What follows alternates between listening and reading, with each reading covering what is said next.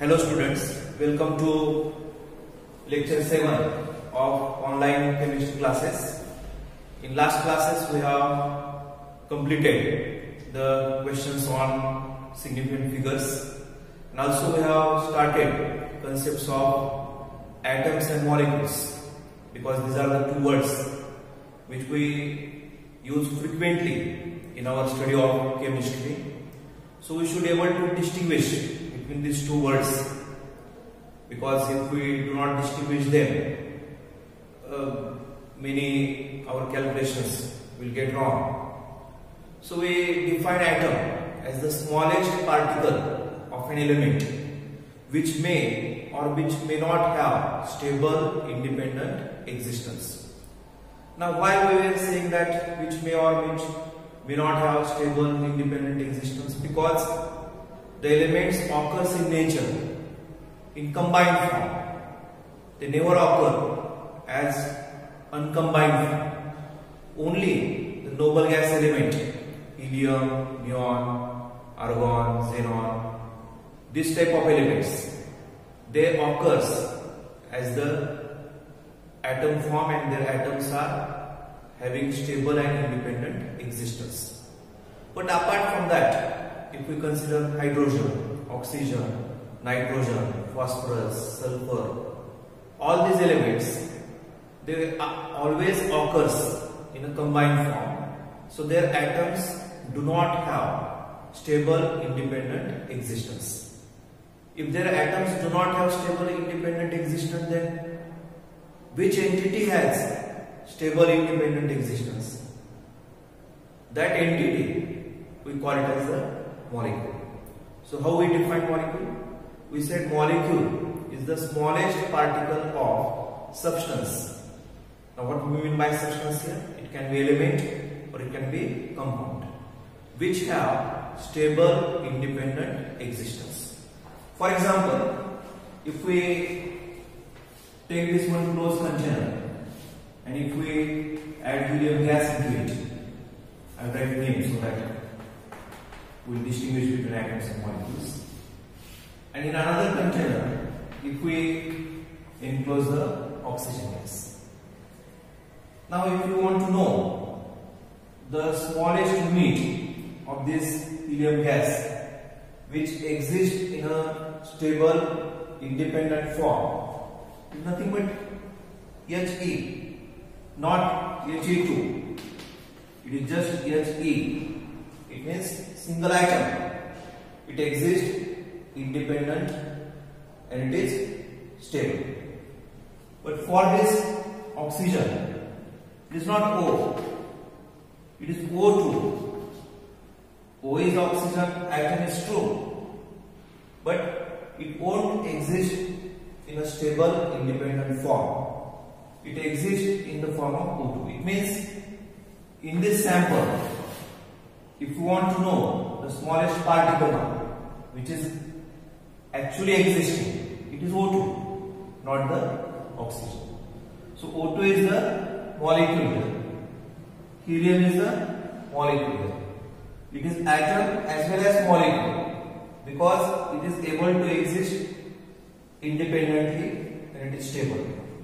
But O2 is the molecule, not the oxygen because oxygen is unable to exist independently and with stability. But O2 exists as the stable entity and as the independent entity.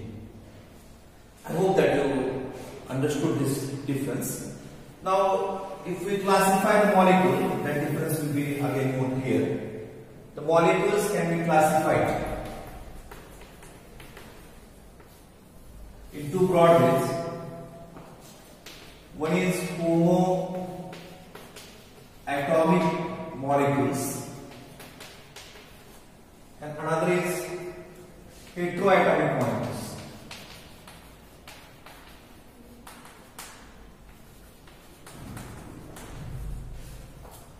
Now what are the homoatomic molecules? These molecules consist of atoms of same element That's why we call it as homo. Means same, similar. And hetero means different. So we can say these are consists of atoms of different elements. Now there are again they are subdivided into monoatomic diatomic and polyatomic example monoatomic is noble gases because their molecules contains only single atom helium neon argon. Diatomic example is hydrogen oxygen nitrogen chlorine fluorine iodine bromine all halogens. And polyatomic phosphorus which contains four atoms of phosphorus.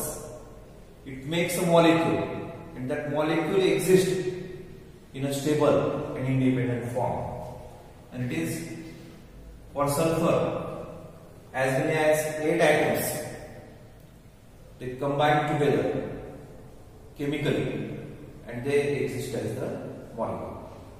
So it is homoatomic because it consists of atom of same, same element. Hydrogen element, hydrogen atom, hydrogen molecule, oxygen molecule, nitrogen molecule, phosphorus molecule, sulfur molecule. For the heteroatomic, we said that they consist of atoms of different elements.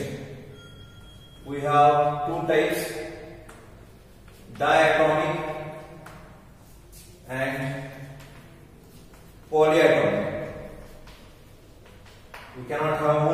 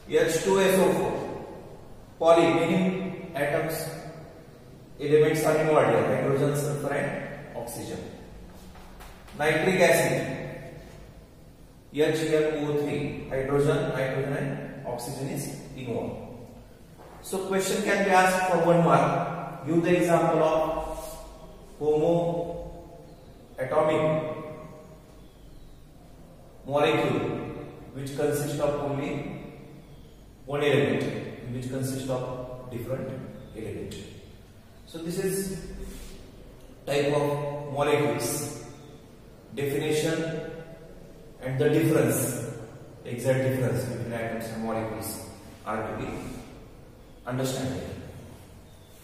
Now after learning the definition of atoms and molecules and learning their differences we'll go further and now we are going to learn about atomic mass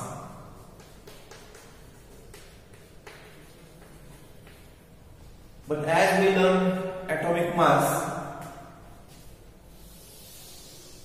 simultaneously we learn molecular mass. Because just like atoms and molecules we learn simultaneously atomic mass molecular mass. We have to learn again simultaneously so that similarities and differences of these two concepts will be very much clear now every atom being a matter it has mass how to calculate it? Various scientists have made various attempts. It started with dalton. He only gave the concept of atom and atomic mass. And for molecule he called compound atom. Avogadro then coined the word molecule. These are historical details. We will not go into that atoms has masses it has to be calculated. This was very old concept since beginning. Dalton has tried it. In fact, it was supposed to be a fundamental property and various attempts of classification of elements were based on the atomic masses. We know that. But as science progresses further, we made improvisations in the definitions to make it more and more relevant, to make it more and more simpler. And now we are in a position to define atomic mass. How we are defining it? For example, if we have an object which is 10 kilogram, how we say that it is 10 kilogram? What is the basis? The basis is we know what we mean by 1 kilogram and this object is 10 times heavier than what we believe as 1 kilogram. For example, if we have this this type of balance and we have this object here. Then we put 1 kilogram here. 1 2 3 4 5 6 7 8 9 10 and then these two levels are equal. And then we say that this is this must be 10 kilogram. Because to equalize this we added units of 10 units of 1 kilogram weight, isn't it? So this is the reference. This is the reference for weighing an object. We cannot have kilogram and gram as the reference units here because we are dealing with very very small particles, atoms and molecules.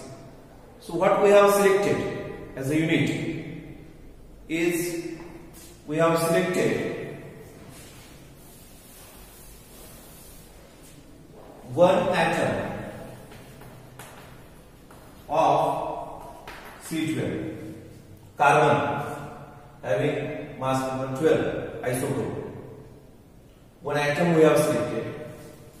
And we have made one twelfth part of it. And we are comparing the mass of an atom with this. For example we want to know the sodium atom is there. And how many times it is heavier to that? That will give us the concept of atomic mass. So this kilogram or gram is replaced by 1 twelfth of 1 atom of C12. This we call it now as 1 AMU atomic mass unit also called as 1U also called as 1 Dalton. And the value of this is 1.66 into 10 raised to minus 24 gram equals to 1.66 into 10 raised to minus 27 kilogram if it is in kilogram like that. So this 1 AMU is used instead of 1 kg when we weigh an atom. If we say sodium atom has atomic mass 23 AMU, what it means? It means that it is 23 times heavier than what we call it as 1 AMU. And that 1 AMU is nothing but 1.66 into 10 raised to minus 24 gram or in kilogram is 1.66 into 10 raised to minus 27 kilogram. So, how to define atomic mass? See the definition. And again, things will be more clear. We can say atomic mass is a number. It is number which indicates which indicates you also write this definition which indicates how many times how many times how many times? The mass of one atom. The mass of one atom. Of element is heavier than one twelfth part of mass of one atom of C12. See the definition.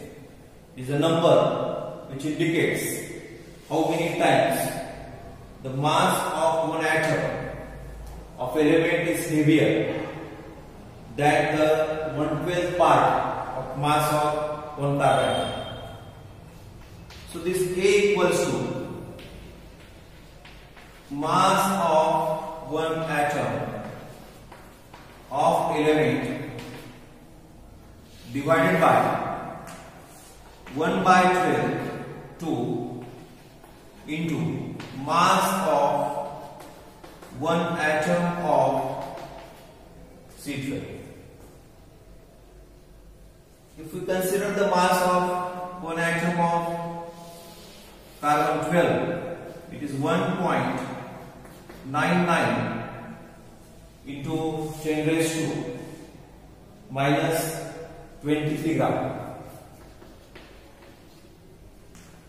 If we multiply it with 1 by 12, basically divide it by 12, this happens to be that number we are talking about 1.66 into 10 to minus 24 gram, which is nothing but one atomic mass unit, which is also called as Dalton. So it is the mass of one atom of element divided by 1 AMU, one atomic mass unit. What is the molecular mass then? Similarly, we can extend this concept. We can say it is a number.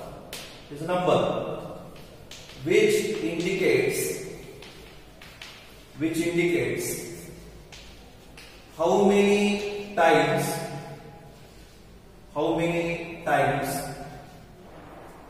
the mass of one molecule of substance it may be atoms or it may be element or it may be compound molecule of substance heavier than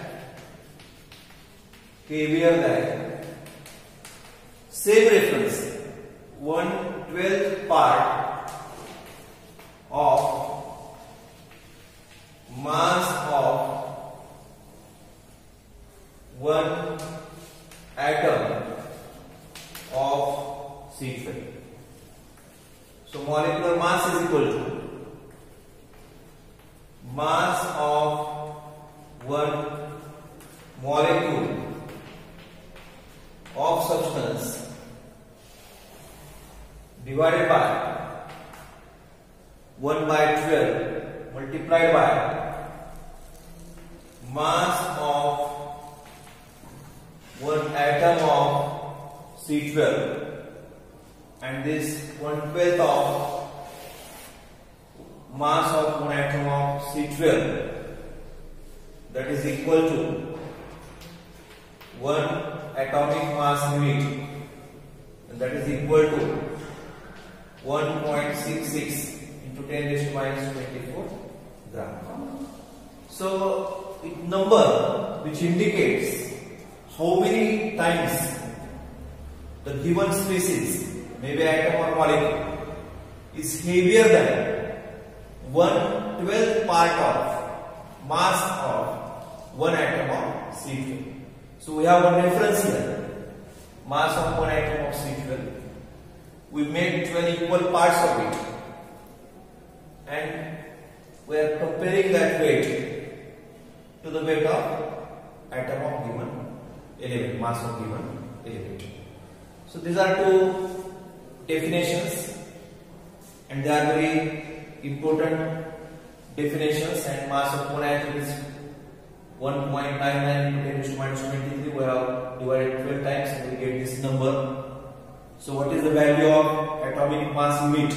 1.66 into into 10 raised to minus 24 gram or 1.66 into 10 raised to minus 27 kilogram also called as Dalton.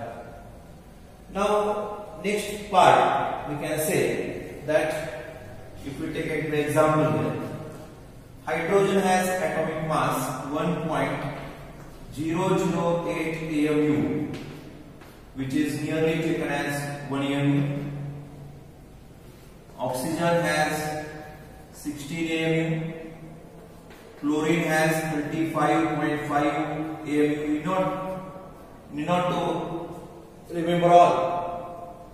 They will give in bracket. And as we study chemistry, many atomic masses we use again and again, and we may able to remember them also. But absolutely, it is not necessary. The sodium is 23 AMU. These are few examples I have given. Now what we mean by 16 AMU? It means one atom of oxygen is 16 times heavier than what? Than one twelfth part of mass of one atom of C12. Not only mass of one atom of carbon. We are multiplying it by 1 by 12. Means actually we are dividing it. So that's how we should be able to read these numbers. 16, 35.5, 23, 1. What we mean by this? What is mean by atomic mass of hydrogen is 1 MU? It means the mass of one atom of hydrogen is equal to, because ratio is 1, it means it is equal to 1 12th part of mass of atom of C12, like that. So this is the way in which it is to be defined. Even though the definition seems to be clear if it is asked, we have to write this in a same way. Now we'll add one more point in the atomic mass. What is the actual mass of an atom of an element? See the formula, next one. The actual mass of an atom, actual mass of an atom. Of element is equal to atomic mass in AMU multiplied by 1.66 into 10 raised to minus 24 gram. For example, the actual mass of one atom of oxygen is equal to atomic mass in AU is 16 multiplied by 1.66 into 10 raised to minus 24 gram and if we do this calculation 2.656 into 10 raised to it should be minus 23 gram. Similarly, we can say that for molecular mass, we'll see one more point and then we'll go to the molecular mass. That in molecular mass, I'll write here because all these formulas are so important. The molecular mass is nothing but sum of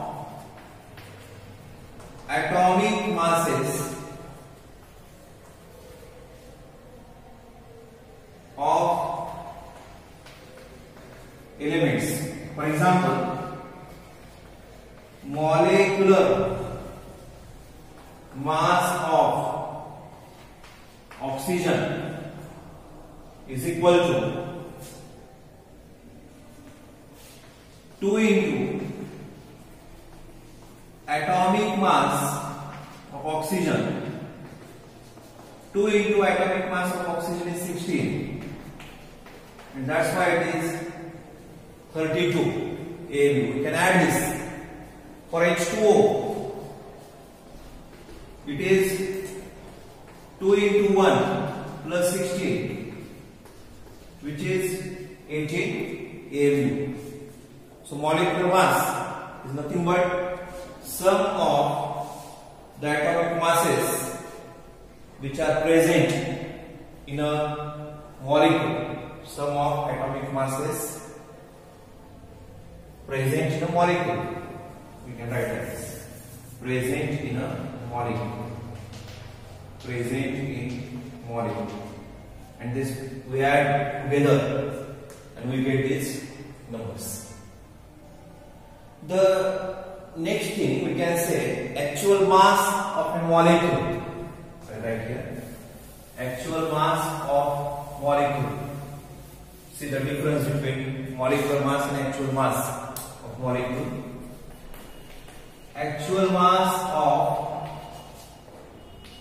molecule of substance is equal to here we have written atomic mass in AMU. We can write molecular mass in AMU multiplied by this one atomic mass in it. And we'll give one example once again of oxygen only. Actual mass of molecule actual mass of one molecule actual mass of one molecule of oxygen is equal to molecular mass in AMU is 32 1.66 into 10 raised to minus 24 and if we multiply this together I have answer here 5.312 5.312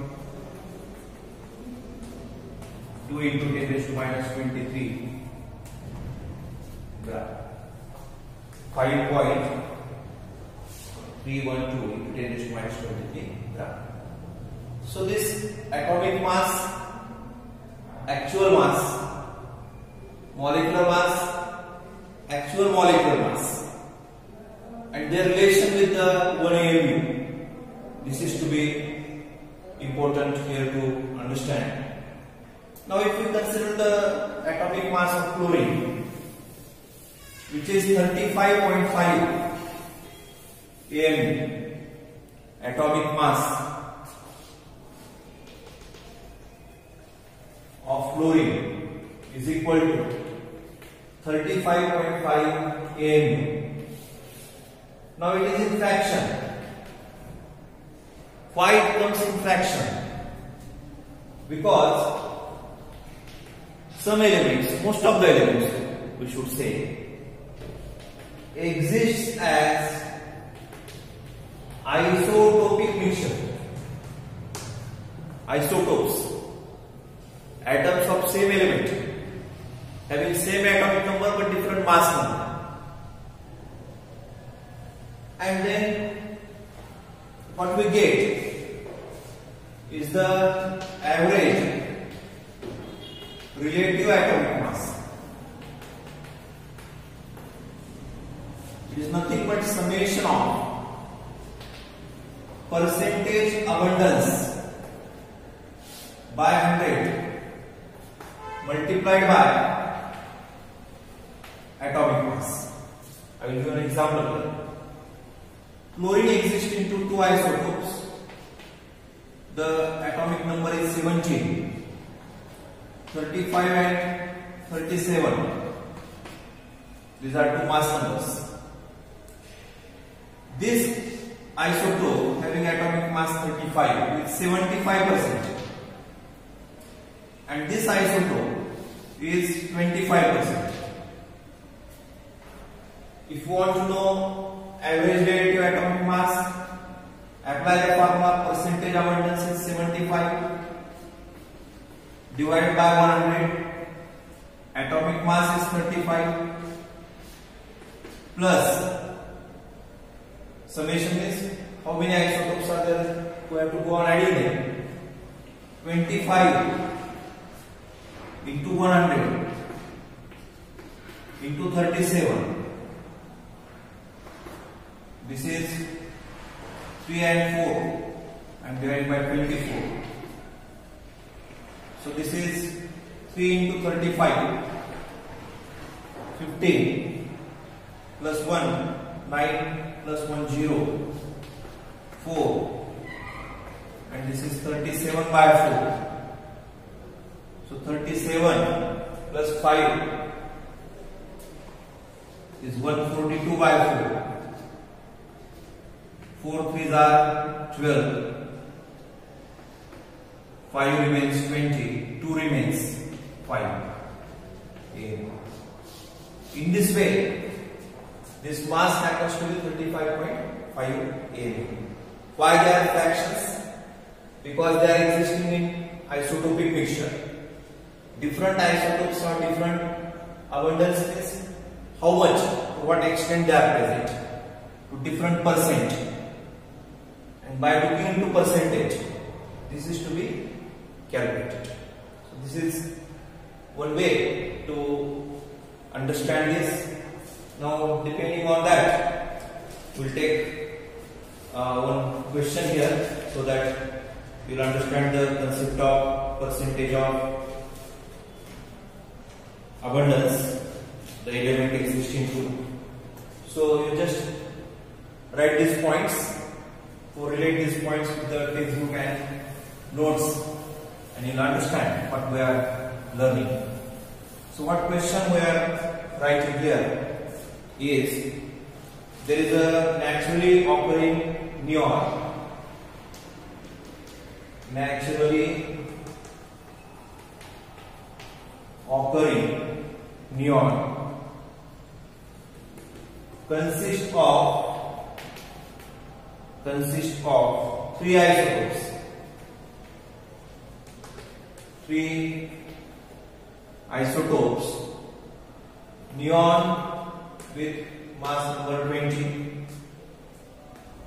neon with mass number 21 neon with mass number 22 their percentage abundance is or abundance in nature are 90.51 for this 20 then 0.27 and 9. 2.2% respectively. Calculate average atomic mass of neon. Now we can apply the formula we can say average atomic mass is summation of percentage abundance divided by 100 into isotopic mass because different isotopes have different masses. That is equal to 90.51 divided by 100 for this respectively means for this first one. 20 is the isotopic mass plus 3 are there 0.27 into 100 21 and last one. 9.22 into 100 into 22 we carry on these calculations. And what we get? Is 20.17 m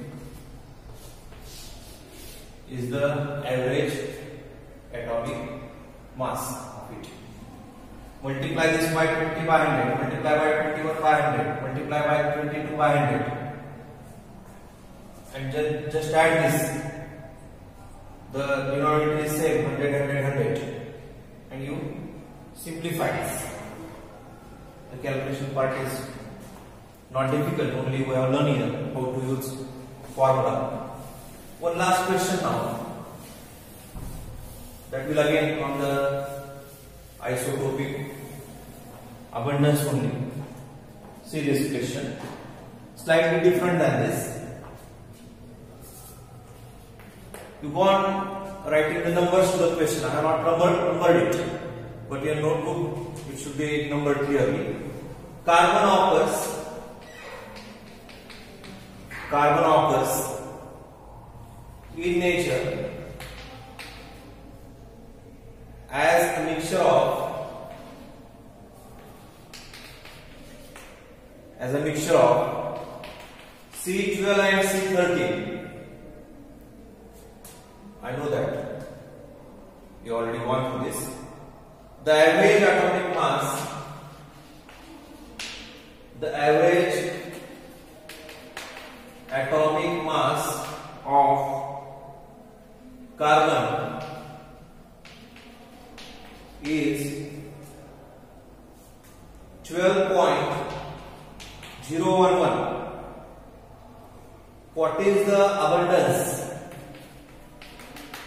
What is the abundance? Means in what percent? Abundance of C12 in nature